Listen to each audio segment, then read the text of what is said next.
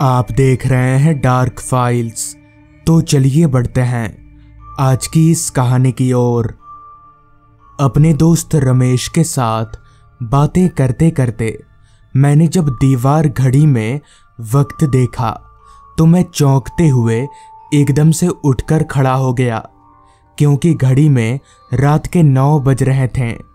बातों ही बातों में इतना वक्त कब निकल गया, पता ही नहीं चला। तभी रमेश बोला घड़ी मत देख आज अब कहीं जाने की ज़रूरत नहीं है कल सुबह चले जाना। इस पर मैंने रमेश को बोला नहीं यार नहीं रुक सकता तू तो जानता है मेरे बॉस को। एक दिन अगर काम पर नहीं गया तो मुझे खा जाएगा। रमेश ने मुझे रोकने की बहुत कोशिश की मगर मैं अपनी जिद पर अड़ा रहा और किसी तरह रमेश को समझा बुझाकर उसके घर से बाहर निकल आया। रात तो सच में काफ़ी हो गई थी, क्योंकि रास्ते पर मेरे अलावा दूसरा कोई आदमी नज़र नहीं आ रहा था। और तो और रमेश का घर भी शहर के एक ऐसे इलाके में था, जहाँ घर आबादी बहुत कम है, या यूँ कहें तो ना के बराबर है। इसलिए मैं भी इधर बहुत कम ही आता हूँ। मुझे फ़िलहाल ज़रूरत थी तो किसी सवारी की। जो मुझे यहाँ से अपने घर ले जा सके। उस रास्ते की हालत देखकर ऐसा लग नहीं रहा था कि मुझे कोई सवारी मिल भी पाएगी, क्योंकि अगर लोग ही नहीं होंगे तो फिर कोई ऑटो रिक्शा वगैरह क्यों ही चलाएगा? मगर मेरी ये सोच तब गलत साबित हो गई, जब मुझे अपने से कुछ ही दूरी पर रास्ते के एक किनारे पर ऑटो रिक्शा नज़र आई। उस रिक्शा को देखते ही मैं तुरंत दौड़कर उस रिक्शा के करीब गया। रिक्शा के भीतर एक काला सा आदमी पुराने गाने सुन रहा था। तभी मैंने उस रिक्शा वाले से कहा भैया, त्रिमोड़ चौक जाओगे? आवाज़ सुनते ही रिक्शे वाले ने रेडियो बंद किया। फिर मेरी तरफ़ देखते हुए बोला, त्रिमोड़ चौक? पर वो तो काफ़ी दूर है। रिक्शे वाले की ये बात सुनकर ही मैं समझ गया कि अब ये मुझसे ज़्यादा पैसे मांगेगा।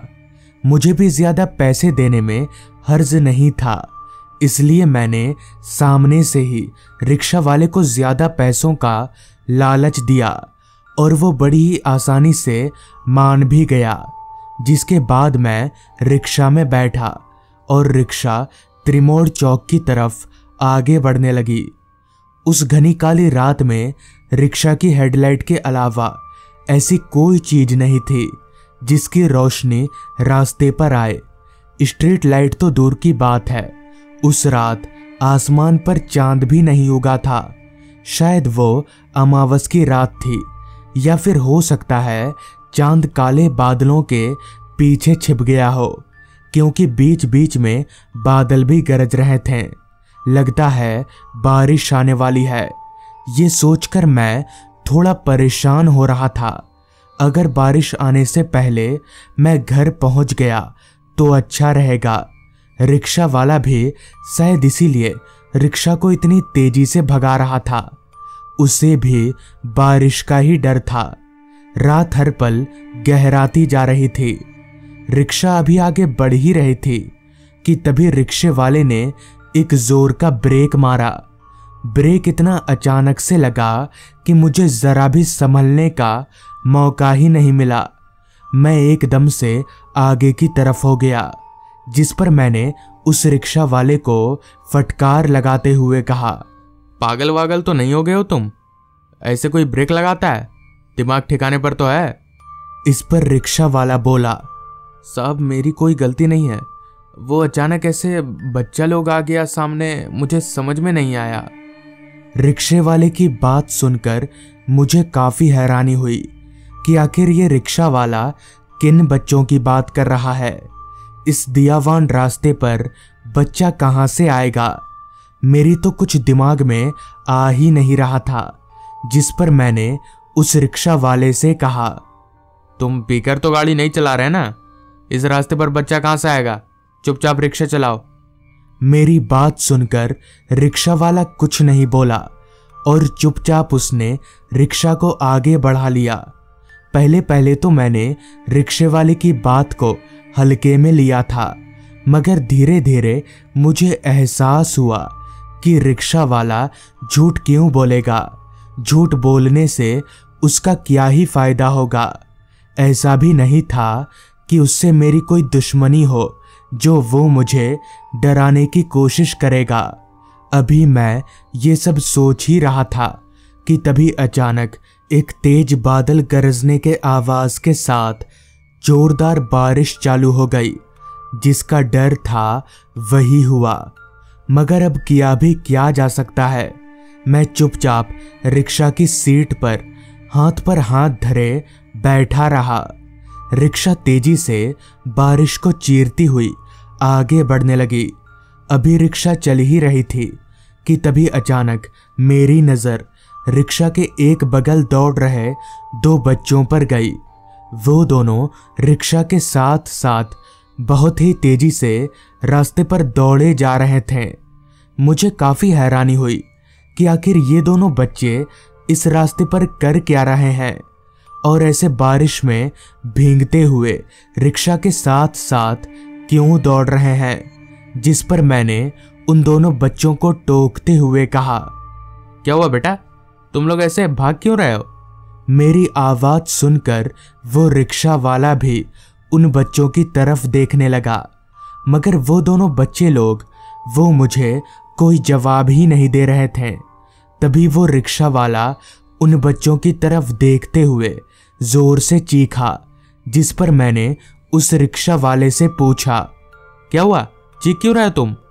इस पर रिक्शा वाला बोला, साहब, उनके पैर देखिए। रिक्शे वाले की बात सुनकर मैंने जब उन दोनों बच्चों के पैरों की तरफ़ देखा तो मेरी सिट्टी बिट्टी गुल हो गई, क्योंकि उन दोनों बच्चों के पैर अब ज़मीन से दो फीट ऊपर थे। वो दोनों चल नहीं, बल्कि उड़ रहे थे। ये देखकर मैं काफ़ी डर गया। मेरा पूरा शरीर ज़ोर ज़ोर से कांपने लगा। मुझे कुछ समझ में नहीं आ रहा था कि ये सब आखिर मेरे साथ हो क्या रहा है। तभी उस रिक्शे वाले ने बोला, साहब साहब, अब, आप डरिए मत। मैं कुछ करता हूँ। कुछ कुछ कुछ नहीं होगा आपको। इतना कहते हुए एकदम से उस रिक्शा वाले ने रिक्शा की रफ्तार बहुत तेज कर दी और कुछ ही देर में ऑटो रिक्शा ने उन दोनों बच्चों को पीछे छोड़ दिया।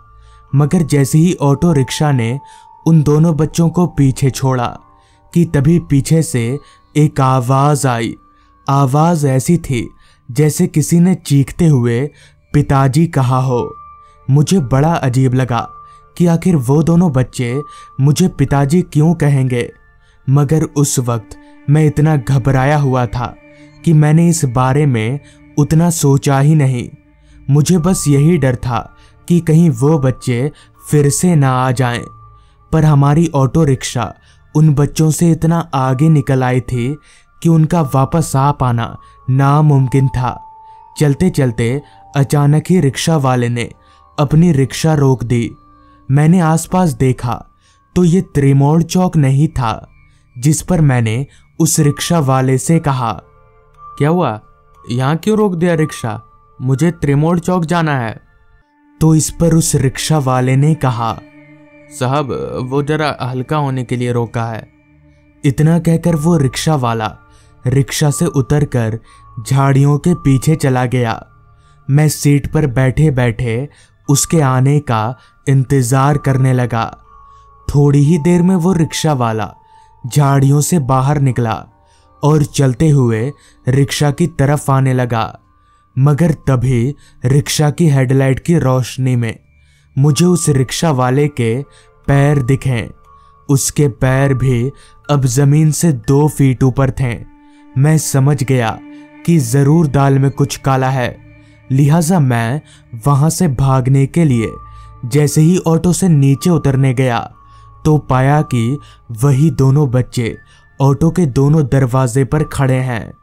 उन दोनों बच्चों का चेहरा अब पूरी तरह से बदल चुका था। उनकी शक्ल पूरी कुचली हुई नज़र आ रही थी। ये नज़ारा मैं ज़्यादा देर तक देख नहीं सका और रिक्शा की सीट पर ही बेहोश हो गया।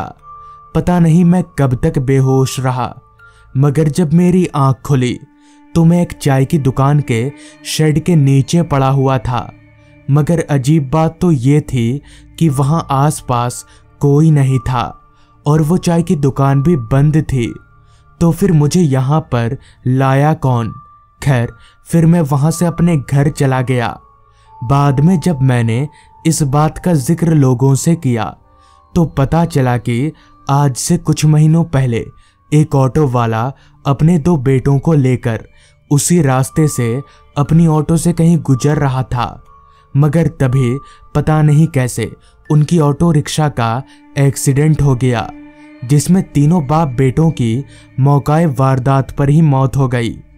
कहते हैं कि तभी से उनकी आत्माएँ भटकती फिरती हैं और अक्सर लोगों का उनसे सामना हो ही जाता है। तो दोस्तों, ये थी आज की कहानी। अगर आपको ये कहानी पसंद आई हो तो चैनल को ज़रूर सब्सक्राइब कर लें। तो मैं आपका दोस्त आर्यन, जल्द ही मिलूँगा आपसे ऐसी ही एक कहानी के साथ।